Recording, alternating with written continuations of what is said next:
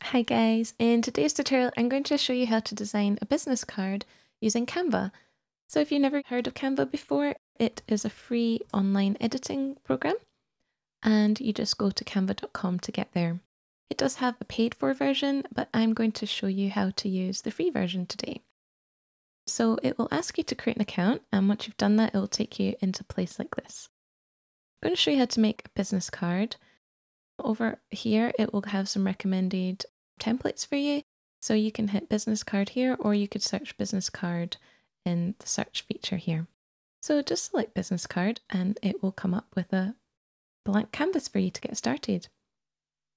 Over on the left hand side, it has some pre-made templates, but today we're going to show you how to make a design from scratch. So first of all, we'll like to add some text. So I'm going to go over to this text button here and I'm going to add a heading. And I'm just going to type my name. So I'm just going to make up a, a name for a business. So Carla Santos. And I'd like to change the font. So I'm just going to highlight that here. And it has a lot of free fonts that you can use that are already uploaded onto Canva.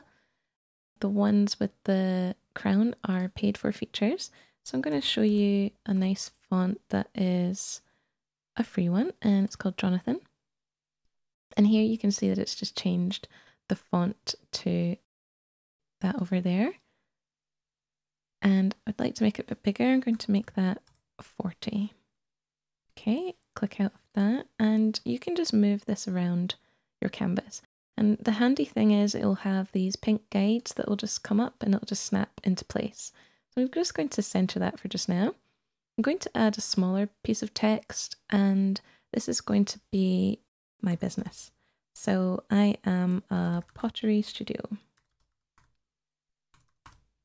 And there's some cool things that you can do with this text over here that makes it all caps. So I'd like to make that uppercase. You also have some spacing effects. I'm just going to space that out a little bit. Letter spacing something about that. Okay, I'm going to make it smaller as well.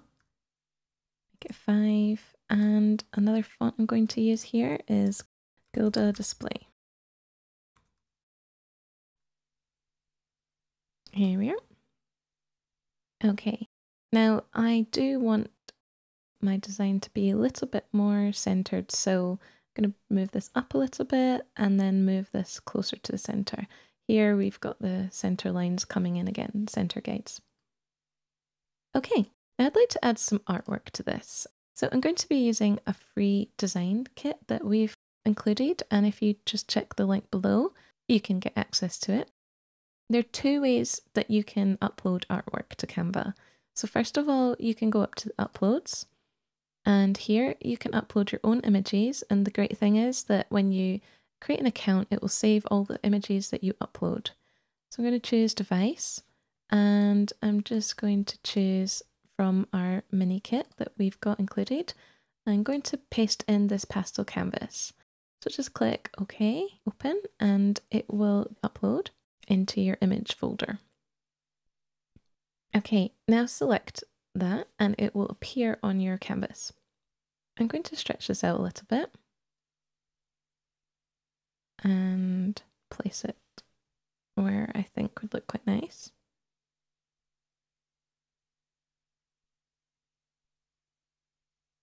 And just move it around a little. Okay, something like that.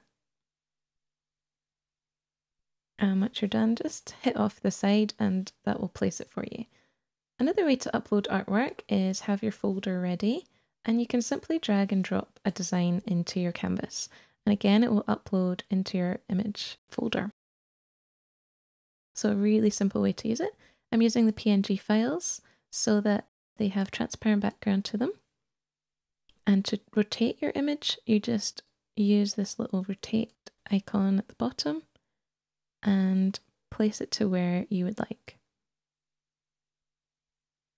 Now, once you have your image uploaded, you do not need to place that again.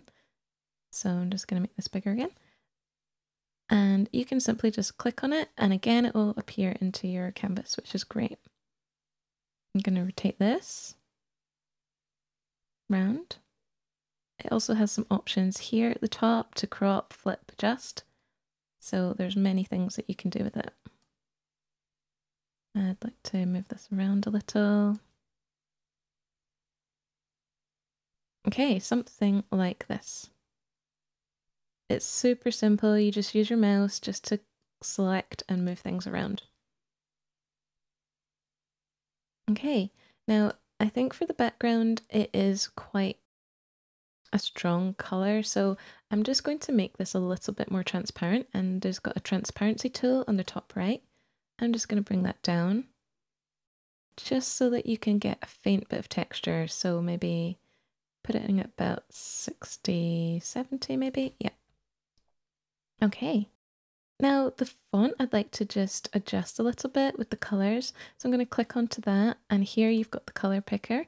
And the cool thing about Canva is that it will bring up some recommended colors from the images that you've pasted in. So I'm going to select this dark brown here and that can be my text.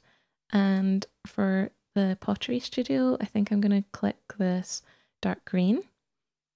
I think I would like a little bit darker. So if I select this color picker, I'm just going to bring this shade down a little bit. There we go.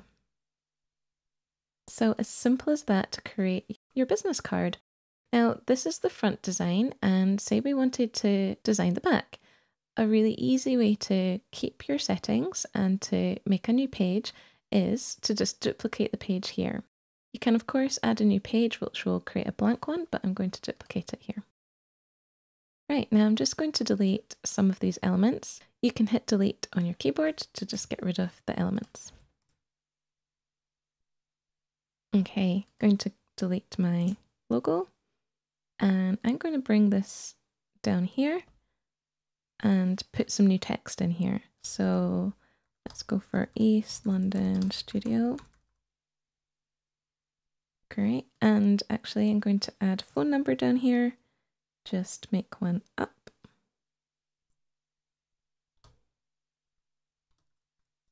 Okay.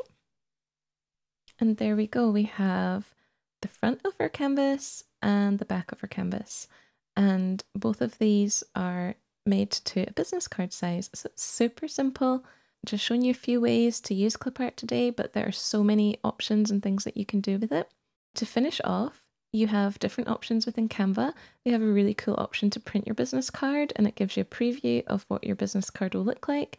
You can get that printed off depending what country you're in. Other options are you can download your design.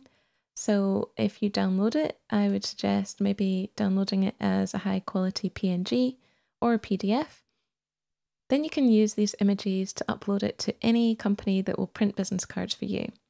So, just a couple of little things that you want to keep in mind is that you want to make sure that your main information is in the center of your design. Um, some parts may be cropped around the edges, so just be aware of that. Make sure your text is nice and clear and make sure that people know where to contact you. Hope you enjoyed this tutorial. Make sure to subscribe down below and download the free mini kit to go along with this. Have fun!